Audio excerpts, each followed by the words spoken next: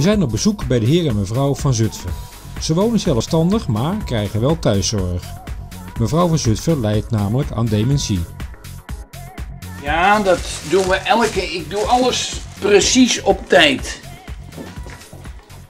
Het is nu twee uur, dan krijgt ze de boterhammetje met aardbeien, suiker erop. Vanmorgen heeft ze er eh, orange juice al gehad. Dus dan begin je de dag goed met een vitaminestoot. En dat boterhammetje, dat, die korst kan ze niet kauwen, dus die knip ik eraf. Zo.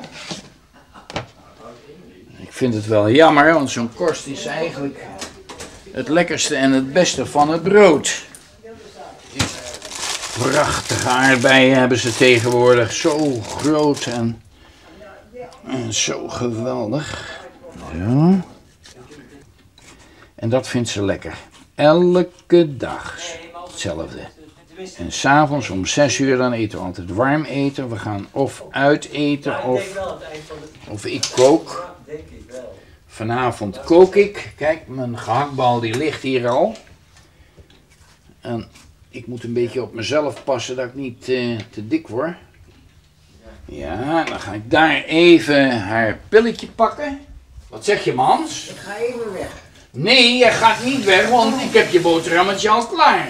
Nou, je En dan ga jij zo eten. Kijk eens even. Mams, jij gaat nu gaan we naar de serre. Ja. Nee, nee, ga Nee, zitten. doe ik niet. Kom nou. Nee. Wel, kijk, mama is dus haar geheugen laat haar ernstig in de steek. Ze heeft als jonge meid vroeger, een jaar of 22 was ze 23, heeft ze een hersenvliesontsteking gehad. En dat speelt ook een rol mee. hè. En dat alles bij elkaar maakt toch dat. En eh, plus haar leeftijd, ze is 82. Dus ja, dan kun je toch wat gaan verwachten. Hè? Jezelf ook. Ik word zelf ook wel ietsje. Af en toe denk ik ook wel eens, ja, ik begin, begin vergeetachtig te worden. Loop ik naar de keuken, ben je even kwijt waarvoor je in de keuken komt. Maar ach, ik klaag niet en, eh, en wij klagen überhaupt niet. Er kan een tijd komen dat ik het niet meer aan kan. Bijvoorbeeld dat ik zelf iets krijg. Ik ben heel erg voorzichtig, want ik weet ook als mij iets overkomt, dan ligt het nest onder de boom, zoals ze dat in Twente zeggen. En eh, daarom, ik hou mezelf goed in de gaten. Ik neem daar om de dag een kinderaspirintje als een bloedverdunner.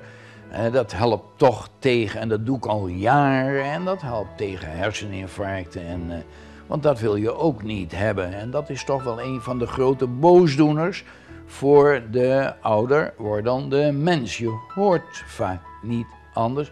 Die heeft een hartinfarct of een herseninfarct gehad en die is half verlamd. Als ik half verlamd ben, dan, eh, nou, dan kan ik het wel schudden. Hè? En, eh, en dan zal mijn eh, zoon en mijn dochter eh, het moeten gaan overnemen. Maar voorlopig, ik red het. Ik red het. En ik hou mezelf eh, zeer goed in de gaten. En, eh, en er gebeurt op deze manier niets deo volente natuurlijk. Hè? Indien God het wil. Maar het gaat goed. Het gaat goed. Met hulp van de thuiszorg.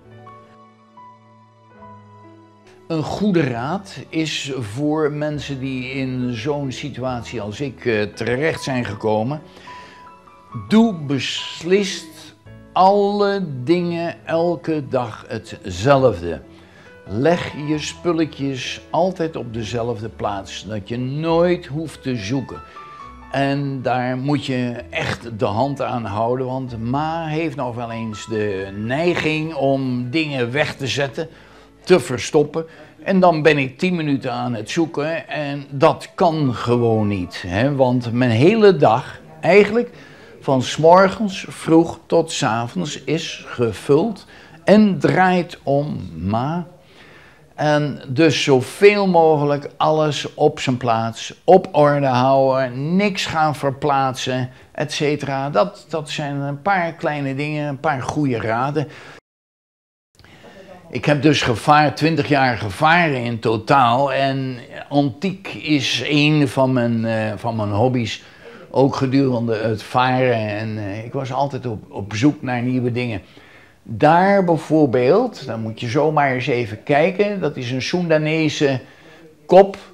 Die, die hingen in de salon van de, het stoomschip Nieuw-Holland. Meneer Van Zutphen heeft via internet veel contact met zijn zoon op Aruba. Even alle spanning vergeten en een praatje maken via de computer. Ook mevrouw Van Zutphen komt graag even meekijken als haar zoon aan de lijn is. Daar komt Skype. Ja. Nou moet ik Ben Aruba hebben. Ben Aruba, hier is die. Hij woont op Bonaire, maar even mijn video starten. Kijk, en Camille eh, en, de, en Patrick die staan achter mijn rug te fotograferen. En die kunnen je... Ja, hé, hey, kom er ook even bij. Daar staat hij. Het is nu nog niet zo warm, het is nu lekker weer nu. Ik bedoel, het is niet zo heet nog. Oké, ja, ja, ja, ja, inderdaad. Is, hoe laat is het bij jou? Vijf over half negen, denk ik. Vijf over half tien. Vijf over half tien. Oh. Oh. Ja, ja, ja, ja. Ja. Ja. ja.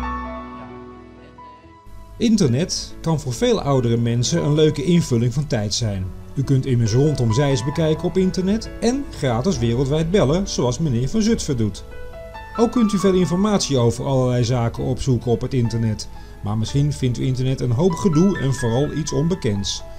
Rondom Zeist geeft daarom persoonlijke internetcursussen en legt u alles stap voor stap uit totdat u het begrijpt.